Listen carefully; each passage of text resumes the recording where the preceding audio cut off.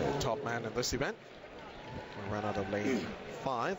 It's going to be Vázquez. There he is. Wesley Vázquez of Puerto Rico.